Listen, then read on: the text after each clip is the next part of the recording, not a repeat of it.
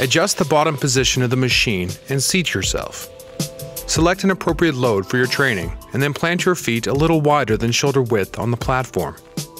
Grasp the handles, maintaining good spinal position with your chest up and head looking forward. This will be your starting position. Driving through the heels of your feet, extend through the hips and knees to push the sled upward. Do not lock out your knees. After holding the top position for a moment, return to the starting position without fully returning the weight to the stack.